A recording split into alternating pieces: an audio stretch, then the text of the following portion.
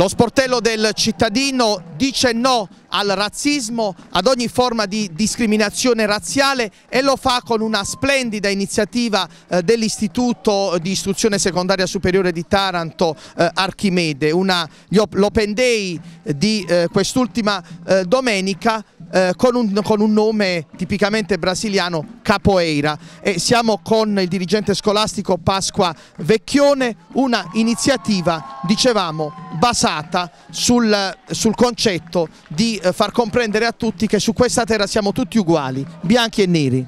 Sì, sì, siamo tutti uguali, delle, mm, cittadini delle diverse etnie che possono convivere all'insegna della libertà, della fratellanza e dell'uguaglianza nel rispetto reciproco. Quindi se si vivono questi concetti eh, che non sono solo teoria ma si mettono in pratica all'interno degli istituti scolastici tutti, eh, eh dai 3 anni ai 18 anni, ehm, se vengono vissuti in maniera consapevole e reale, eh, veramente eh, possiamo sperare di operare per un cambiamento. Ed è bello vedere assieme l'uno accanto all'altro, gomito, a gomito a gomito, ragazzi di, con il colore diverso della pelle. Certo, colore diverso, pensieri, idee diverse ma che eh, possono contribuire alla, al successo e al um, progresso dell'umanità, al successo nel senso di miglioramento personale e del, dell'umanità.